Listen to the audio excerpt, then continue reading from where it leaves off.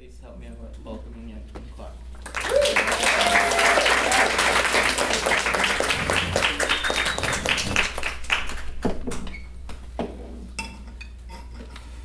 Thanks for the invitation. Um, yeah, I'd like to thank all of you for showing up as well. Um, can you hear me okay, or Yes. everybody okay? Um, yeah, so I'm going to be speaking primarily about my sculpture and performance work and my collaborative work by extension, um, all of which are intertwined in my practice. Uh, sculpture is a way for me to rethink, um, propose different ways of viewing and interpreting bodies beyond the harmful way by which all bodies are objectified, and to reimagine the physical and social spaces that govern our everyday lives. Uh, for the purposes of this talk, I'll be weaving back and forth between sculpture, performance, and collaborative projects and the spaces in between, while addressing the possibilities and limitations that I've found through each discipline and how I navigate between multiple communities and spaces. Through this presentation, I hope to touch on concepts and themes including the objectification of bodies, self-objectification, reparative objectification, bodies as assemblages, trans performance objects, queer genealogies, and the radical potential of marginalized bodies. So I want to start off with an excerpt of a, uh, a video that I made in 2012 in my first year of grad school here in my studio, which is right along the way. Um, it was a long night at the studio. It was a late night at the studio. I think I was preparing for, you know, one of the reviews or whatever. Um, yeah, and I, I was working on some ceramic sculptures at the time actually, but um, you know, in order to achieve the texture that I wanted on the surface of the clay pieces, I would mix slip, which is just like water and clay, in a bucket, dip my hand and fling it in this sort of like limp wristed gesture. and then, so I'll just lay. Okay. Whoop.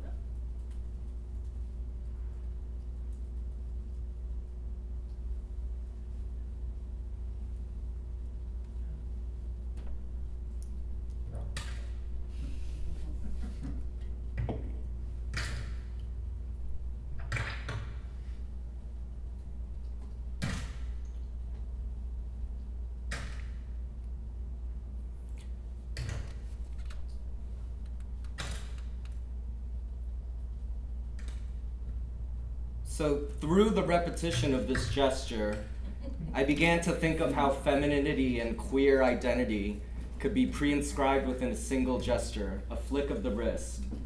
On the one hand, I was thinking, God, I just can't help myself. Even when making art, just like a simple ceramic bowl, I'm such a queen.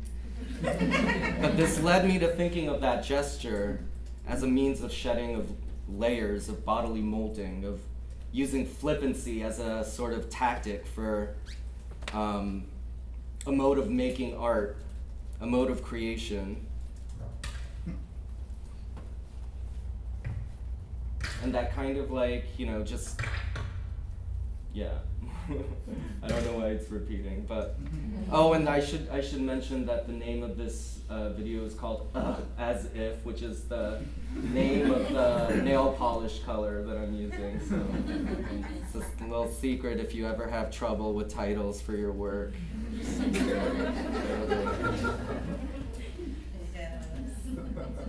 So going back back a bit further, my first memories of rethinking the materiality of our bodies arose from my experience performing in drag actually, at gay bars and queer parties in Chicago, outside of an art context. Drag taught me about the organizing function of materials to connote a race, gendered, sexed, and class body and revealed the potential for fracture, fracturing the underlying logic and identifications that are pre-inscribed into our bodies. So this allowed me to think of how material fragments could be manipulated in different ways, taken off, reapplied, reconfigured, in order to reimagine what a body could be and how it could exist in this world in three-dimensional space and within a community. Um, in many ways, I feel like my experience performing in drag uh, led to my sculpture practice.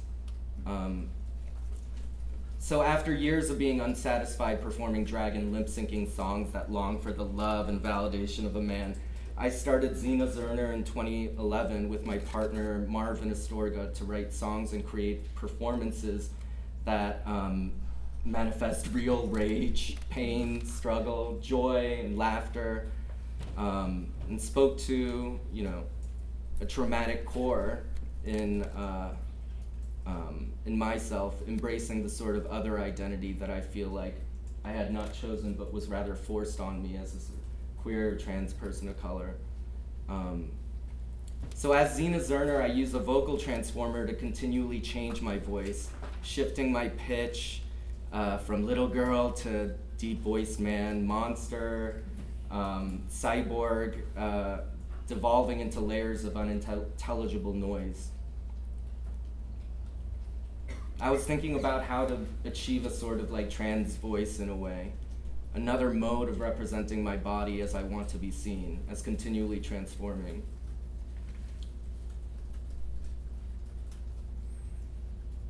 So yeah, recently someone asked if like Xina Xurner is an alien, and I I told them that you know I think that Xina Xurner speaks in, to the alien in all of us. It's not just for you know queer people or or POC. I mean it is, but it's you know ultimately refers to another, and as such, you know we are all alien to some, but um, you know, I think of it more like an alien hybrid, maybe a melding of the familiar with the unfamiliar. Um, maybe that's the most alien thing of all. Um, Yeah, and my so my voice is combined with Marvin's beats to get people dancing. I want to bring together people from different backgrounds so they can collectively experience and process the messy swirl of feelings through dancing and establish connections between different bodies and know that we can see and affect each other. In many ways, I feel the effective bonds between bodies are more immediate in Xina Xurner shows than in my sculptures. So just to give you, just to give you an idea of, uh, I'm going to show you an excerpt of uh, Xina Xurner video for our song Burn Slow, which is about invoking Mother Earth to uh, um, mold our bodies from the clay of her earth and our, uh, burn our bodies with her flame in order to be transformed.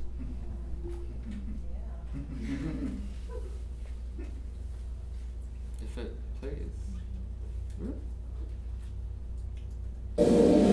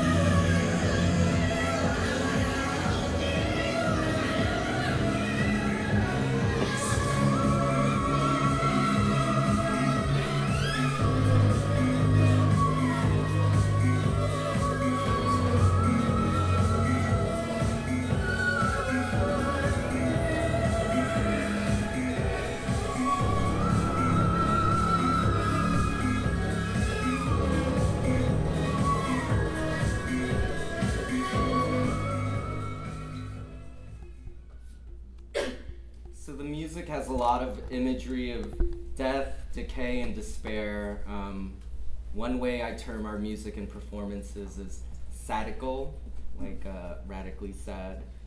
But um, Xina Xurner is profoundly about the need to survive and change, experiencing different kinds of death, the necessary sacrifices of past selves as a process of molding, of uh, transforming our bodies and ourselves. So this is just a body of work that I made um, around the same time as I started Xina Xurner. Um, I'm showing this as like a kind of like corollary. I feel like they were dealing with similar themes in a way. Um, I just read a book called Terrorist Assemblages by Jasbir K. Puar, which offers a trenchant critique of the co-opting of queer and masculine identities in her book, um, and brown identities in her book, and provides the concept of bodies as assemblages that are constituted by fragments that are spatially and temporally contingent. Puar's notion of the assemblage allows for the affects beyond cognition, the body's excesses, one can imagine the affects flowing in the spaces in between the seams of the fragments of the assemblage. The potential for transmission amongst these different fragments opens up the possibility of a variety of interactions and transformations. These cavities call to our attention the spaces in ourselves that elude our bodily senses, the gateways for the undetected, unmarked, or unvoiced. I think of this work as setting up an encounter um, with a sort of transfigured, traumatic uh, scene that uh, um, allows one to contemplate it. Uh, the mess, the spillage, the darkness. Um,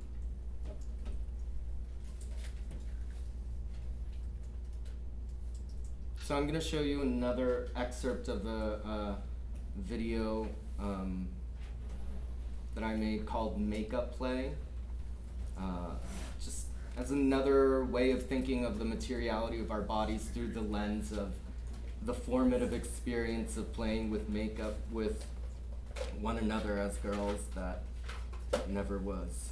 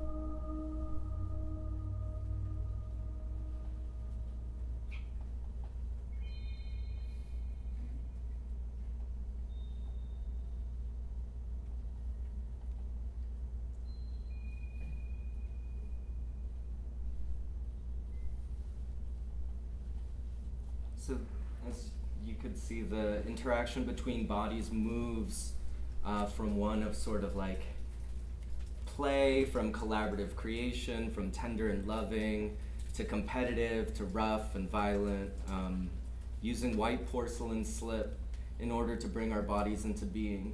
the video, um, you know, I was thinking about converting like the formative beauty rituals of uh, um, socializing into a meditation on objectification and a way by which we are complicit in forming each other into subjects.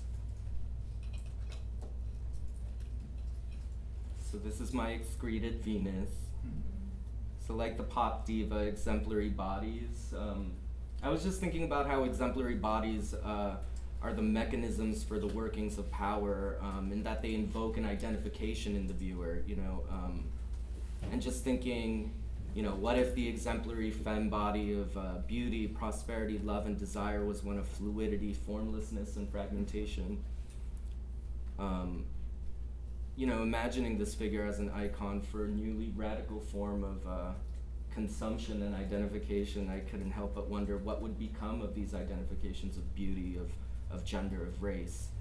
Um, so this, everybody thinks that this is me, but it's actually my uh, friend Barack, who was a classmate of mine at USC, and he's like this like kind of like stout, really straight, hairy Israeli guy that I um, uh, masculine, and I just like tied him up, applied makeup, wigs, heels, and um, the strange proportions of his body are because it's a, um, actually a composite of different several several different photo photos of his body taken from different angles that have been patched together. Um, so this is also from the same shoot. This uh,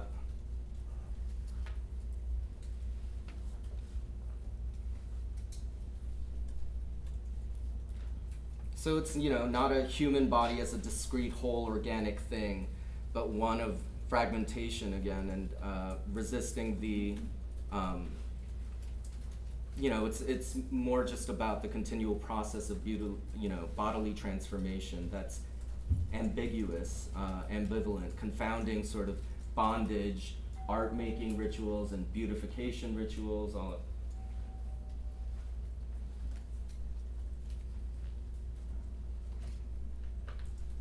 So I, I see our bodies as sites of radical contradiction. How a body presents itself, how it is read, belying its true, lived, yet unperceived nature.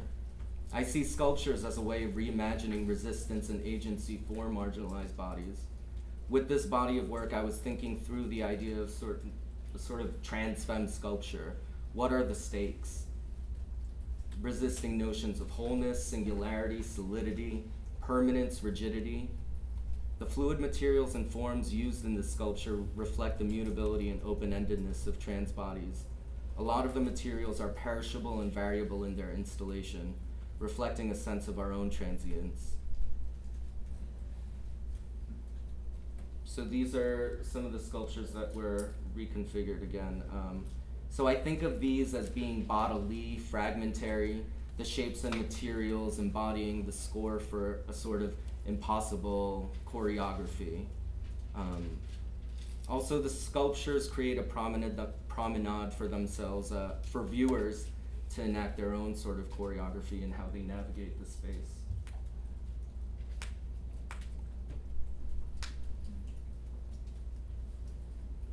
Just that gesture. not only how identifications are inscribed into gestures, but how gestures can be inscribed into materials. Um, I guess I should, uh, the um, prints on transparent film that are mounted to this resin and steel piece is, uh, they're um, photos of uh, oil slicks, the, the rainbows that result from like dirty water. So this piece is called Wig, Heel, Purse. It's literally a wig, heel, and purse that has been welded together. It's a weapon, an object of beauty and consumption, and a body itself. So each side of the plexiglass case is a different shade of transparent pink, meant to encourage looking at it from different angles. The holes are at once air holes and the approximate diameter and height of glory holes. Um, to consider the overwrought bonds of femininity and violence, sexuality and pleasure. So at Xina Xurner shows after moving to LA in 2012, um, we found such a strong community of queer, trans, POC, and um, you know, women X audiences, and I would witness performances at these so-called non-art venues at like 2 a.m. in some basement where that blew my mind and made me wonder why isn't this in an art gallery? At the same time, I was in grad school here and needed to make my art studio into something of a dressing room because I didn't feel safe to get dressed and made up in my apartment um, at the time. So I created Mutant Salon. Uh, I had the privilege of having the space and platform that comes with institutional backing, and I wanted to extend this safe space with my community, um, to collaborate with them, to bring my community from the outside in, to share my studio, my sort of green room, by which we would get made up and share ideas and prepare for performances on the horizon. And Mutant Salon was also just like a metaphor to think of my practice, kind of thinking if artists are meant to create new forms of beauty, I guess I would align myself with a sort of mutant beauty. So Mutant Salon became this roving, um, you know, after grad school, freeform salon slash platform for collaborative performance and community building. Um, you know, I, I it's it's hard to, to kind of wrap it all in one thing. There's not one single polemic or mission statement about us, like because we are all so different. But I think that one thing that unites us all is that we all experience having our bodies objectified, exploited, or policed in some way. Together, we create a temporary world with and for each other in which the conditions of our everyday lives are inverted. I think of Mutant Salon as a sort of temporary autonomous zone, um, to borrow a term from Hakim Bey. In past iterations of the salon, I've collaborated with other artists to create the environment of the salon using objects, light, sound, video, where audience members could get makeovers such as haircuts, psychic readings, ma makeup, nails, body work, etc. Um, yeah, I think a mutant salon is like it's it's only it can only be what it is at the moment when everyone is envisioning it and and uh, experiencing it together. Um, and people who you know, and it's not an aesthetic one that people can take away as a model for a sort of different social being.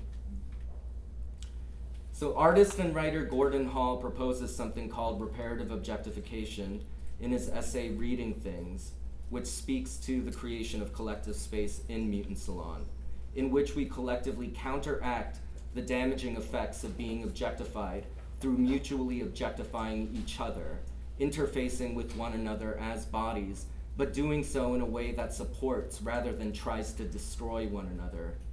I found myself thinking about some other reparative process, one that countered the damaging kind of objectification with an even more powerful kind of objectification.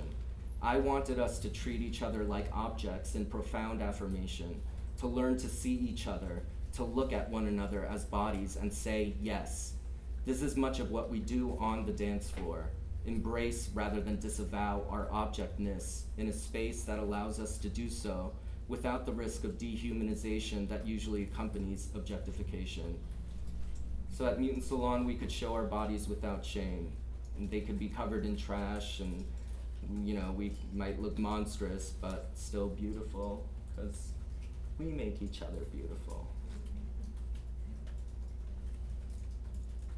So with mutant salon like the idea of mutant salon also kind of precipitated the like uh, the, the objects that and, and things that I would make for Mutant Salon and um, in this case these musical beauty instruments uh, that we used at uh, performances at the Broad and Hammer Museum, where performers and audience members used these to apply makeup and paint sculptures on the surrounding installation. Um, but these musical beauty instruments also create sounds via embedded uh, contact mics and other electronics that, when activated, are um, and filtered through software, uh, um, so that like the stroke of a brush against one's skin sounds like sparkles, or wiping your face with a sponge sounds like waves, or brushing your hair sounds like a demolition at a construction site. Um, and so with that singing mirror at the end, its volume and tone changes based on the tilt of each axis of the embedded wireless accelerometer. So in having your own gaze reflected back at you, rather than telling you you're not the prettiest one, it sings for your beauty.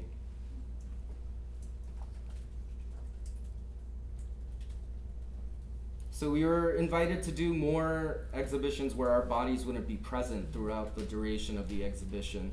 So we wanted to explore another means of participation with the audience, creating a sort of surrogate body.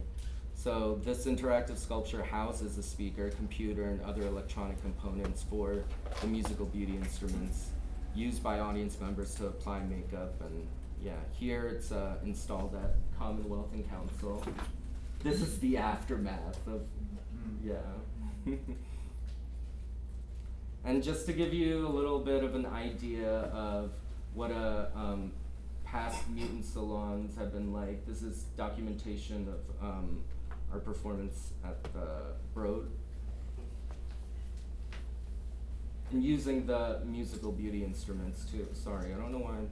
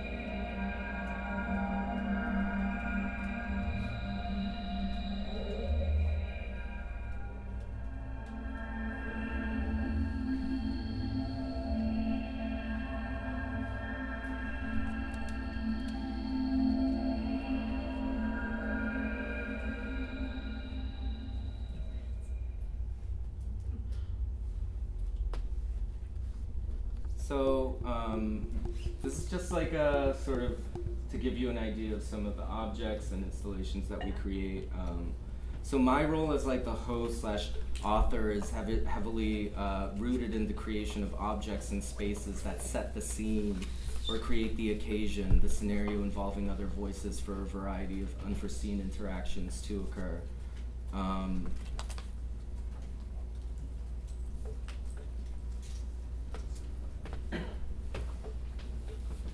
So, uh, Mutant Salon was invited to do a show at Red Cat, um, and I was thinking about how to transmute the ephemeral nature of Mutant Salon performances through different mediums, rather than just the residue of a performance or one's account of a performance. How can the performance live on? Um, beyond just the documentation of the performance, we wanted to use the documentation in order to create a video piece. Um, and I'm not going to show you that video. but it, this is all to say, I was really interested in um, uh, chroma key or green screen technology at the time as well, as a stand-in for any sort of, uh, like any kind of space that you want to build, a space that is otherwise is always on the horizon. So we created uh, furniture and objects using chroma key paint, and um, you could see an excerpt of that video on my website, but for the sake of time, I'm going to show you a different one. Uh, so after I started making the musical beauty instruments, I, um, this project also involved the green screen um, for a live performance in a gallery and a live stream video with um, effects that were transposed onto the chroma. The performance involved a chroma key green screen background with the performers wielding matching chroma key colored objects and costumes. So my interest in like the green screen uh, stems from the fact that, like, you know, it traditionally, historically has prov- provided cinema with an infinite sight within an infinite scale in which to position a subject. But using analog technology to substitute chroma for an alternative sight, um, you know, the image is allowed to move from the actual to the potential. I was interested in treating the green screen as a subject equal to the figure, not simply a ground for the figure as it has been used historically. Substituting chroma for a swirl of different body parts, fluids, and environments, um, the image and, of the body and the site is shown to be a relationship of uh, indeterminate materiality.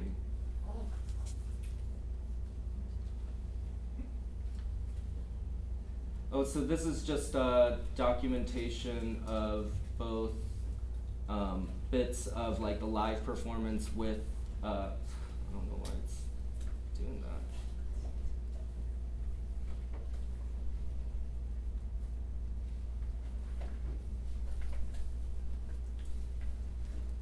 Oh, there it is. Live performance with the live stream video too, just for the sake of realizing what was going on.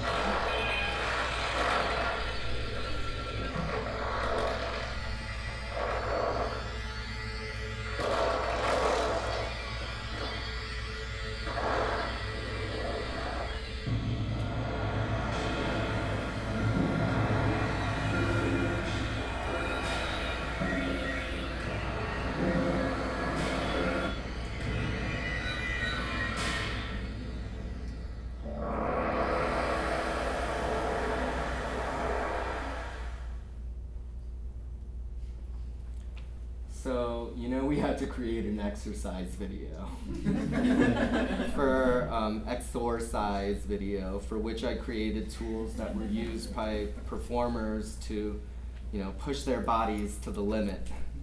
The unobtainable, convo- you know, like our um, mutant salon shake weight and the ass pump. And, and then this, um, you know, I wanted to not just display the exercise tools as props for them to function as a sculpture as well. I decided to create a rack for the exercise tools, just as the exercise tools queer the objects that one would use in order to modify one's body toward certain ideals. The rack takes on a sort of strange functionality itself. A tool rack, an exercise machine, an aggregate sort of body.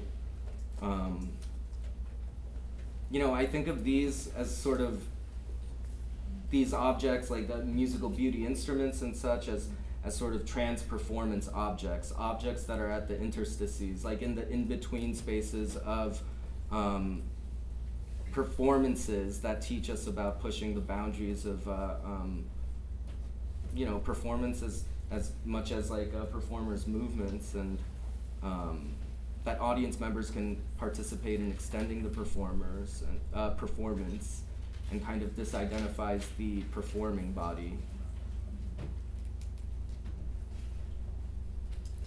So I created a sculpture exhibition at Commonwealth and Council um, in 2017 called Hermy or Hermy or um, that was inspired by ancient Greek Hermes statues and the uh, deity Hermaphroditus. Um, so Hermes statues, if you're not familiar, are square columns bearing only heads of the gods and genitals as figurative markers of masculine power and authority. They were placed in front of, uh, in, in olden times, they were placed in the front of properties of people in positions of power to mark one's territory, to claim, like, claim space, you know, and so, uh, I wanted to subvert that original function of Hermes statues and claim the space of the exhibition as queer and trans, intersex. The piece was named after um, Herculine Barbin, the French intersex person from the 19th century whose memoirs I read after Foucault brought attention to them in his history of sexuality. Um, so the genitals on the one side of the Herma Herculine is one configuration of my uh, vaginus or vagina penis. I'll return to that later. as I like to, vaginus as I like to refer to it. Uh, this configuration consisting of gonad, gonads bulging out of my vulva.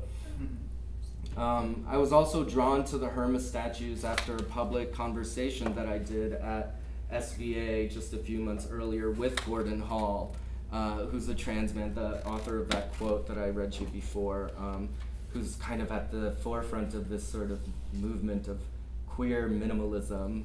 Um, you know, and and uh, and some of you know his writing touches on like kind of denying any signifiers of queerness in their visual work and i became self-conscious of how i was being positioned as this sort of messy queer tranny maximalist in relation to gordon during this talk. Like this is kind of like really like binary like oh i didn't know that the, i was walking into this like that.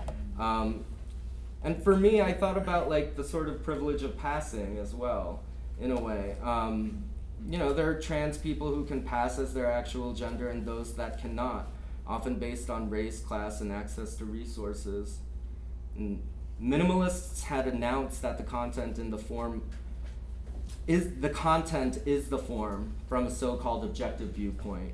But it made us understand that the height of modernist conceit, the universal, if reproduced, represents a power structure of a specific biology, class, and race and that's not universal. I was interested in how Herma statues joined figuration and minimalist abstraction. I was interested in a queer formalism that combines minimalism and maximalism, that doesn't see itself as one side of a binary, but rather locates itself within a genealogy of sculpture and expands upon this discourse without having to deny its queer subjectivity, with all of subjectivity's com complicities and messiness. And so, you know, this is a, a picture, um, an image of the sleeping hermaphroditus statue that I have a, um, at the Louvre. Uh, I was interested in creating a genealogy within art history in order to see and make sense of where we are at collectively, in, you know, in terms of the conflict and confusion around describing and classifying trans bodies. Um, at the time, I was thinking about this a lot. Uh, at the time, there was a lot of like legislation going on, such as like the transgender bathroom bills that the government was using to further police trans bodies, all based on what your genitals look like and not considering our actual selves.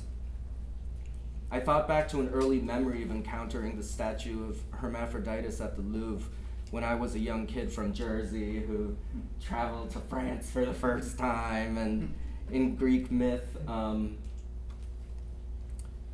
you know, in Greek myth, Hermaphroditus was meant to synthesize the ideals of the masculine and the feminine, and and you think about all the infinite ways by which that could be represented, and the the subtle nuances of the feminine and the masculine, and uh, but most often it's reduced to mostly female form with a penis, like a chick with a dick.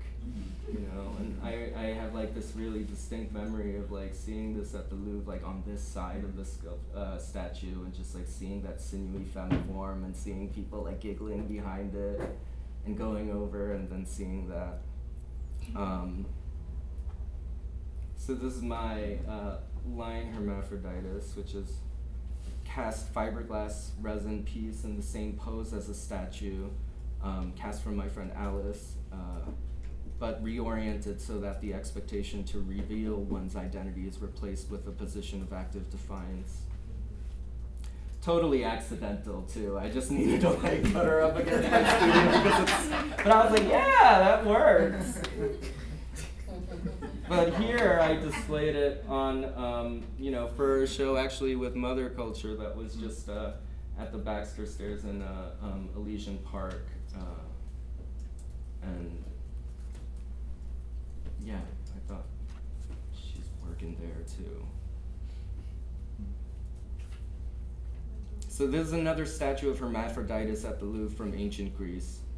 So oftentimes Hermaphroditus and similar um, figures, deities throughout different cultures are are often represented lift, you know, via lifting of the fabric of their garment to for the salacious reveal of their genitalia. Um, you know, the reification of this gesture throughout Western art history proliferates the conflation of hermaphroditism, intersex, transgender, cross-gen, yeah, whatever, um, in the present day. And um, looking back at this statue, I was thinking about its aged materiality. I know that they were originally painted, um, but you know, looking looking at the statue now, absent of any color, there's no clear demarcation, like there's no clear indication of where the fabric ends and the skin begins, where the fabric ends and the genitals begin, and you know, is it being lifted up? Is it being placed down? It's all body, right? And so these um, served as, this statue has served as inspiration for the sort of fabric and body works in my uh, Hermaphroditus Reveal series. So here the fabric reveals negative space, and the relationship between the space, fabric, and bodies is of indeterminate materiality. This piece highlights inconclusive discovery. A hand lightly holds the back flat between two fingers as if preparing to uncover the truth by this ambiguous form, but I'm not giving it to you. and just like that same kind of gesture of like the lifting of the fabric in a way is So multiple layers of fabric of concealing and revealing. And I wanted these pieces to gesture toward the many subtle nuances of a body that contains hidden multitudes. So at the same time, I was actively looking for surrogates for genitalia in mass media and consumer culture, and came across these male sex toys, um, these silicone tubes slash sleeves for male masturbation, of which the most popular brand is called Fleshlight, but particularly looking at the ones that were marketed as looking and feeling just like real vaginas. I would invert these and notice the manufactured geometry of these forms that would also shift into forms that were more organic and alien, which made me wonder, like, huh, so that's woman. you know, and on the one hand, these cast like replicas of, like they're supposed to be cast replicas of a vagina, but on the other hand, it's meant to fit or be a mold of a penis in a way. Um, the soft, squishy materiality of a silicone body has been transmuted to one of hard, solid cast resin. Um, its male masturbatory function has been rendered useless to one of aesthetic contemplation, its form highlighted by the silver leaf and unsealed so that it continues to slowly tarnish over time. So the bases were going to be their own sort of Herma statues, but rather than thinking of a bust on top, it seemed fitting to place these little vaginuses on top rather than heads. So I don't yeah, I'm sure, you know, you don't have to reveal yourselves, but I'm sure many of you, well, I don't know, okay, let's, like, if you receive as many dick pics as I do, perhaps, you know, you'll begin to start noticing some recurring objects placed in relation to one's penis. the two most common objects that pop up are an aluminum can or a beer can and a remote control. So another example of a gendered and sex surrogate for genitalia that's being mass produced in material culture. This is my little vaginus wreath. Um, so this is uh, an installation shot of one of the rooms of my last uh, uh, exhibition, Her- Hermie. Um, and sculptures were scattered about the space of different scale, color, installed at different heights and in, locations of the gallery, such as the ceiling and corners, etc., that responded to the strange architecture of the space. Um, so these images don't quite ref reflect how particular and mostly dim the lighting was for the exhibition. The primary light source was from a um, LED RGBA light shining on a reflective piece in the center of the main gallery, excuse me, resembling an exploded mirror ball. Um, this was the light source. And, and these are some of the objects that were kind of like scattered and installed at different heights and locations of the space. And, you know, I wanted to encourage the audience, and this is something that I think about always with my shows, is that I want to encourage the audience to engage with the space more with their bodies, to compel them to be in the space and engage with the work differently from how they would typically view art. Um, you know, I know when I go into a gallery, I'll do this like sort of walk around, like I don't even move my head up and down. I just figure that everything is at 60 inches centered, and I'll just like do one scan across the room, and oh, I might look at this piece a little longer or that piece a little longer, but. Um, and this was uh, um, the exploded disco ball called a Brown Rainbow Eclipse Explosion. Um, well, and it was company, accompanied by this uh, sort of soundtrack, that uh, score that uh, my partner Marvin made. Um, so Hermie Gaze shines its light onto this body that has been gouged out, exploded, producing a brown shadow that radi- radiates out into a rainbow. This piece is accompanied by a slow ambient sound composition. Uh, it's made of cast aluminum. Um, you know, so it's heavy but strong and uh, um, in its fragmentation. And I I realized that it's like a it's like become a generational thing. Like it's not like this so much anymore. But you know, the mirror ball had a very significant um, special cultural historical significance for me and others who found refuge in gay clubs and other nightlife venues. Uh, they were essential in creating um, an atmosphere for escape, uh, release, freedom of expression, celebration, and hope. When the world beats you down, you can die and be reborn again and again on the dance floor. I wanted this piece to exist as a sculpture in the show, but also for it to provide a different sort of phenomenological function in changing our viewing patterns. So fragments of light reflected by the sculpture slowly um, move around the space at one and a half rotations per minute, the approximate speed of like a slow dance.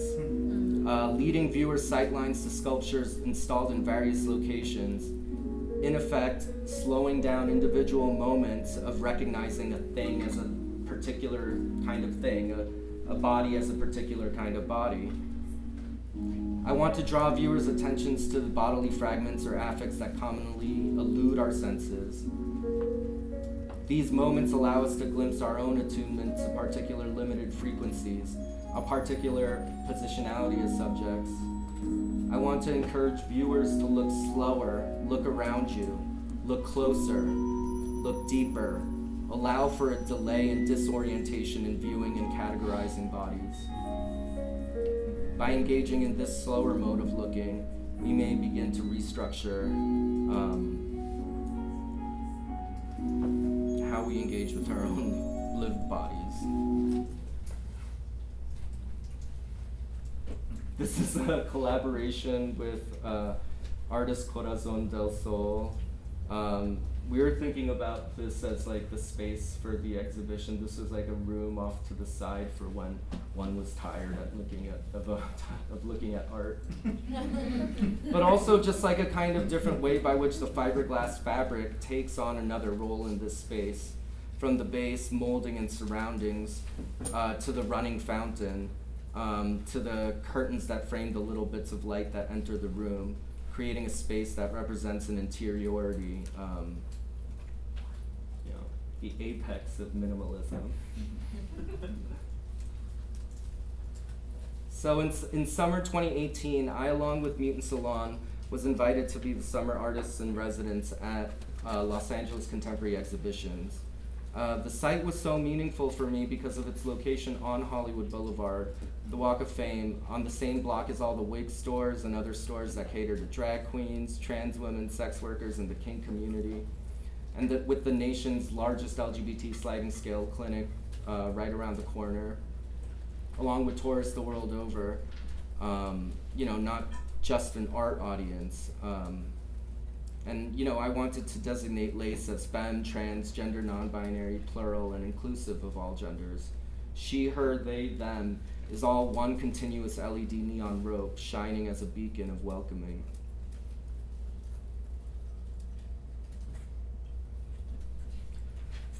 So um, this is an installation shot of uh, uh, the show Cavernous. Um, it was kind of, yeah. Uh, the idea for Cavernous proceeded from the the work I was doing with vaginuses and male sex toys and beer cans and remote controls, and all that was missing was a La-Z-Boy, and you'd have the trappings of a man cave.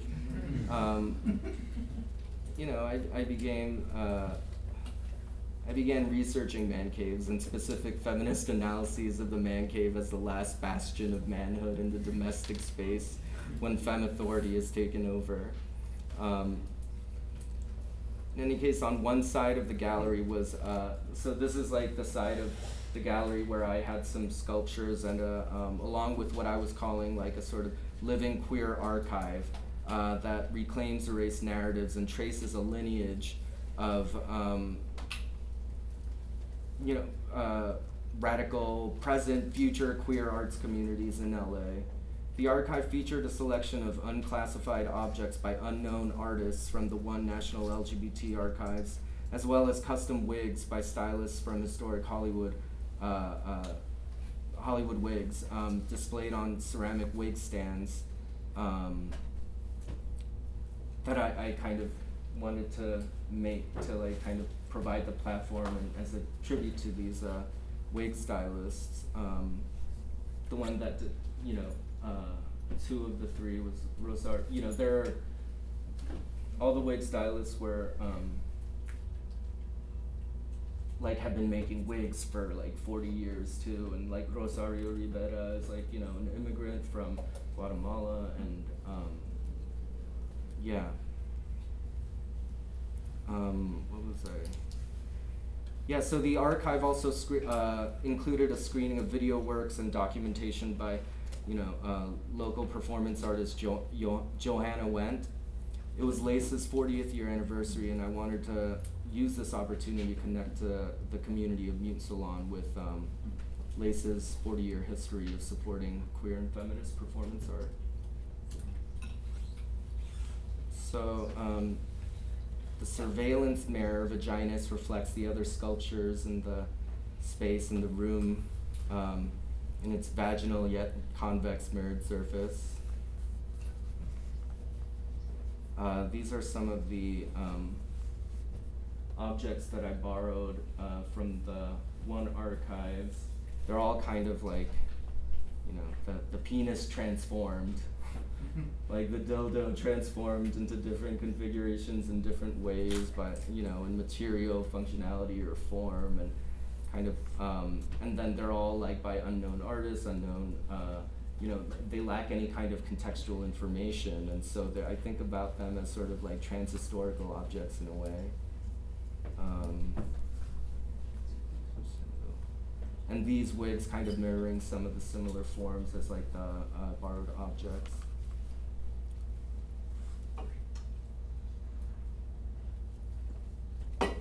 On the other side of the gallery was the space of Mutant Salon, which uh, I gave over entirely to the other members of Mutant Salon, um, featuring performative participatory sculptures, videos, lounging spaces, a zine library, a spring, a human-sized cat trees, slash set for Xina Xurner music video, and seating for performances by members of Mutant Salon and programs.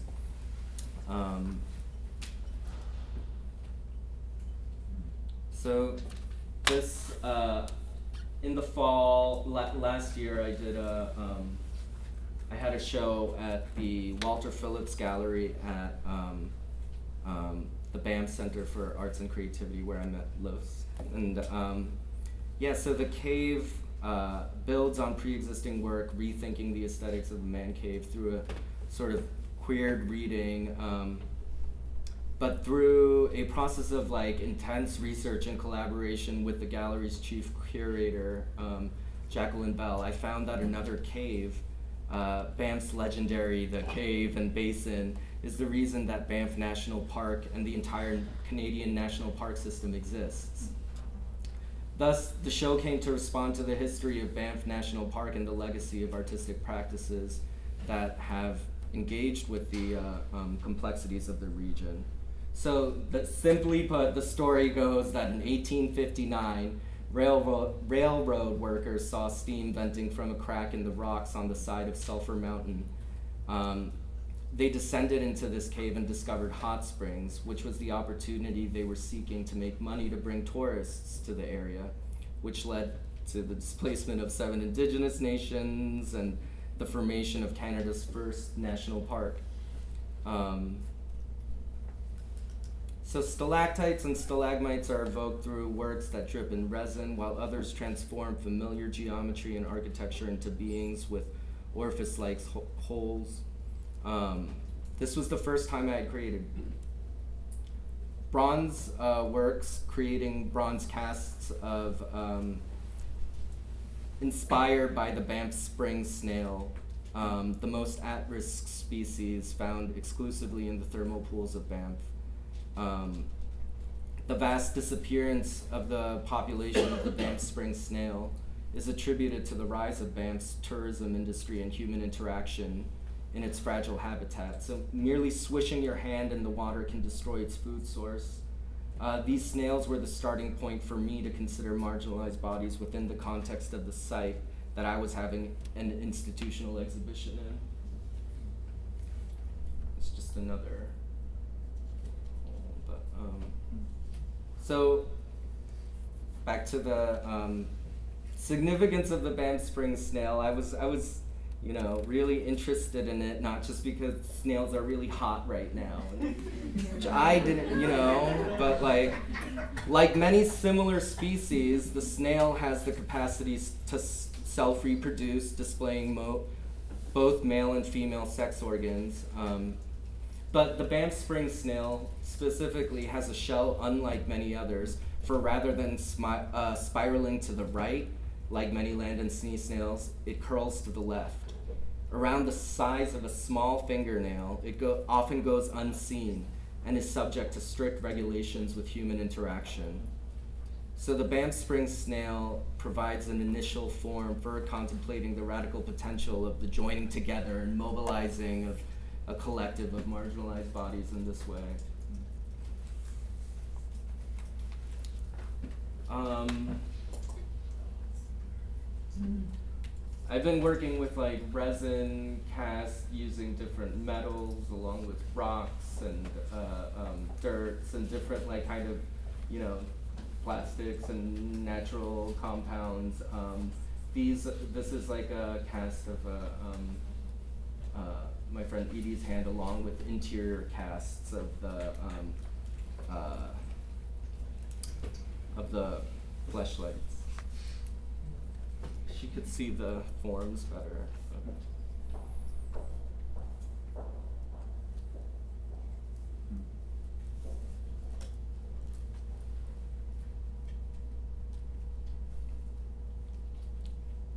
Another surveillance mirror work.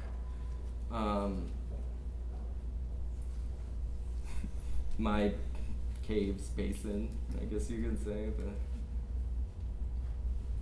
So I also showed a new three-channel film installation called The Maternal River of No Return as part of an ongoing performance film collaboration with artist-performer Kim Ye uh, called Not Yet a Woman, in which Kim embodies an overbearing older maternal figure guiding me through a fractured transition into a stereotypical womanhood and destructive womanhood. Um, the three channel the three channels show different activities, places, and personas that mommy and baby girl occupy in order to learn about the site and its history and to try to fit into the local culture amidst the uh, melodrama of their relationship.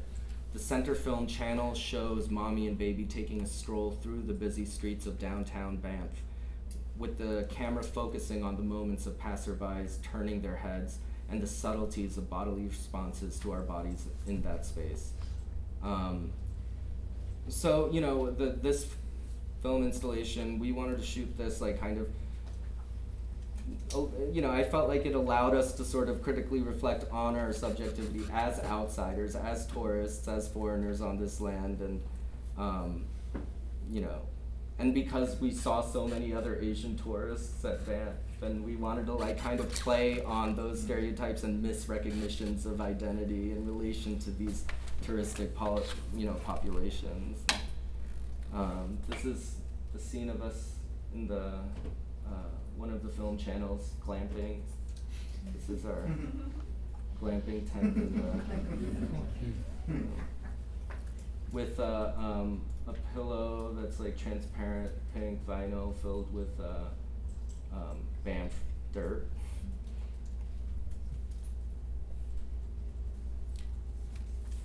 Um, so, I, you, she, he, they, we, it. Uh, each pronoun is spelled out by bending and twisting neon rope and attached to a sheet of plexiglass, all of one long continuous line suspended like a chandelier from a security dome mirror, a surveillance mirror on the ceiling. The piece changes visually and linguistically depending on the angle from which it is viewed. Words and letters appear and disappear. Their power to signify is in flux, all making a line abstraction that imbues a purple glow around the space. This piece is titled Shining Palimpsest, referencing the multiple and interrelated layers of meaning and obfuscation in language, subjectivity, and social divisions. The surveillance mirror, I mean, has to do with how trans bodies and marginalized bodies are surveilled and policed, but in this case, the function has been twisted to reflect and shine ambient light all over the space, shifting. Um, yeah, there was a lime green painted wall that, um, with this light reflected, would appear orange or salmon colored. But um, and I how how am I doing on time? I like I have a mommy and baby excerpt, but um, I think I could I could stop here and maybe if there you know if nobody has questions or whatever. Yeah.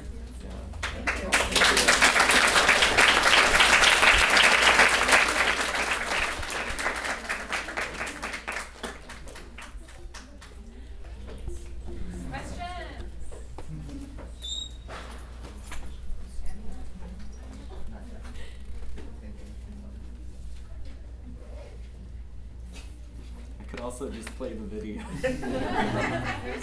Hi. Okay. Um, so a lot of your works just have so have reminded me of. Have you ever heard of the like Peruvian penis pots? Uh, no, but I mean, well, yeah, um. No, not specifically the Peruvian penis pot, but one of the objects from the Wood Archives really reminds me of that. That's, yeah, that's what yeah, yeah. They're like these mo- primarily ceramic pots that they were used over a number of centuries from a number of Peruvian cultures in the same geographic area. Um, and they're all like these weird images of like sometimes the the figure is the pot and like the penis is the spout, or it's like yeah. scene, like sex scenes on these pots. And so your a lot of um, your more figurative works reminded me a lot of that, um, and just kind of like the ways that that those were very like uh, I don't know what the word is, but they're found a lot. There's a lot of them. They're not like rare instances, um, and that that way that they like use phallus as those. I don't know. It was just very interesting, and it like kept a lot of the more figurative works kind of kept reminding me of that. So I'm sure you've never seen them before. I I haven't, but I will now that you mention it. like, you go to like little um, like all the little tourist stands and stuff like that, and they'll have like mini ones for you to for you to buy. And, uh, yeah, like, yeah, like I've seen a lot. That look like them. Uh huh. No, thanks. That was a really Yeah. Yeah. Hi. Hey, how's it going? Um, so I'm curious. So what I love about um, your presentation is you you position all these different practices as really kind of all feeding the same thing. Especially kind of your work with um, Xina Xurner, I'm wondering actually, at, when you first talked about it, it was kind of like a wellspring or a safe space from which you could actually kind of make work. Wondering if that has kind of changed in terms of the space of the band itself and kind of like what the band does for you and your work, or if it's kind of evolved, because your work kind of formally has really kind of evolved as well. I mean, in terms of the, in terms of kind of the forms that you you use and kind of how the exhibitions look, whether they look kind of super maximalist, as you said, or like the vamp thing is like super restrained and like you know. So I'm I'm curious as to like what the what the status of Xina Xurner is now and how it affects the work. Yeah, well, we're um, playing a few shows in the next month, you Yeah. know, and just at, uh, at, you know, mostly like non-art venues and, um, yeah, I don't know, I just, I, uh, I, it, it, it allows me to like reach another audience, like Mhm. kind of like the kids like that I want to reach and I feel like I make work for too, um, in a way. But I also love the work that I do in galleries and the kinds of audiences that I'm able to reach through the that work. And they are ver- vastly different audiences sometimes and I don't know, gives me life and keeps me young. Yeah. Thanks. Yeah. Hi. Um, I love the gesture you started your presentation with, with like looking at your wrist and, um, working collaboratively with people. You're taking in like all these like signifiers and creating them for yourself and I wonder where you stand on the idea of like creating your own personal mythology. Cause I saw the flick of the wrist repeated like throughout your sculpture. And I'm wondering if there are any other gestures that have sort of become a part of like your mythology that repeat in your practice. Um, yeah, I mean, I think that, um, like what what kinds of gestures? like I think I that know, they're it was, like kind of like as a yeah, like like a limp wrist Like, or I don't know, uh, I, yeah. icons, like things that we, like, Icons, like yeah. things that you create that, that you feel like repeat throughout your practice over and over again. that, like, Yeah. You look at as like your own sort of language you're creating, I don't know. Yeah, I mean, I um, yes, yeah. Yeah, I mean, I, I think that there are a lot that just like come up. I don't um, try not to think about it in the way of like kind of creating uh, too much of like an or like recapitulating some sort of iconography or Right. yeah, but um, but yeah, kind of like mixing unfamiliar with familiar and kind of like shifting it around, but then also, yeah, I think it's um, important to build upon each from, you know, how each project kind of contextualizes the next and the one that came before and stuff like that, so I don't know if I answered your No, question. that does answer. Yeah. Can you show the video that you mentioned? Oh well, um, yeah, sure. The video, the oh, that's the security mirror. But so I was gonna show a video of the per, um, like an excerpt of like uh, the most recent performance that I did on Hollywood Boulevard this past Saturday. Um, and so I could just show you that. That involves and baby, and it's in relation to the preferred pronouns piece. Oop, And mommy and baby are preferred pronouns and stuff, so.